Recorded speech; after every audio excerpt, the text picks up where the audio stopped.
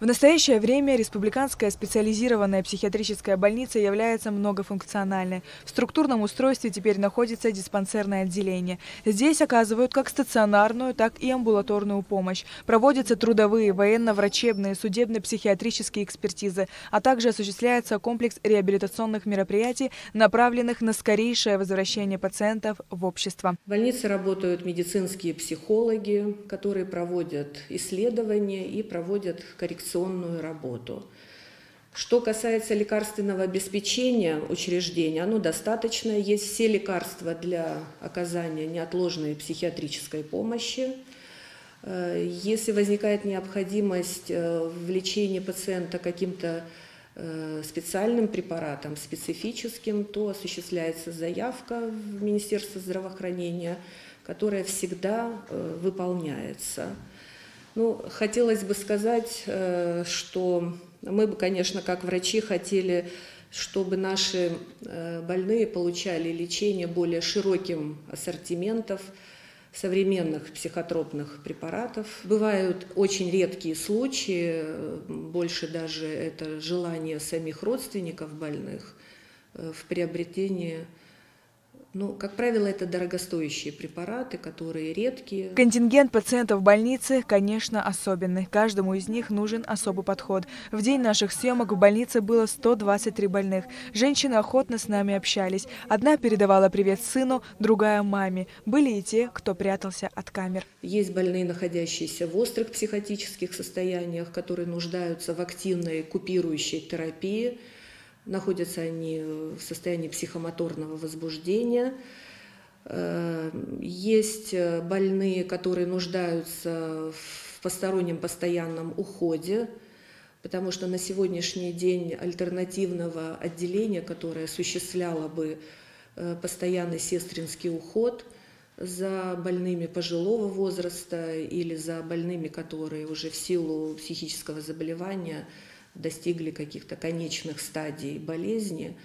Нет, есть категория больных молодого возраста, у которых впервые возник психотический эпизод. Такие тоже пациенты есть. Но еще в, нашем, в нашей больнице проходят принудительное лечение психически больные, совершившие общественные деяния, правонарушения, и которые по решениям суда проходят Э, здесь принудительное лечение. Они освобождены от уголовной ответственности, но лечатся у нас по решению суда. Питание в психиатрической больнице трехразовое. Уже давно нет сбоев в поставках продуктов питания. Все задолженности погашены. В целом улучшились условия содержания больных в стационаре, говорит Ануа. Однако наряду с достижениями имеются еще и нерешенные вопросы в области психиатрической службы. Остается нерешенная проблема отсутствия психиатрических кабинетов в районах, это приводит, э, опять-таки, к отсутствию преемственности в лечении больных и в постоянном возврате больных в лечебное учреждение на стационарное лечение. Mm-hmm. То есть проходит, происходит регоспитализация больных.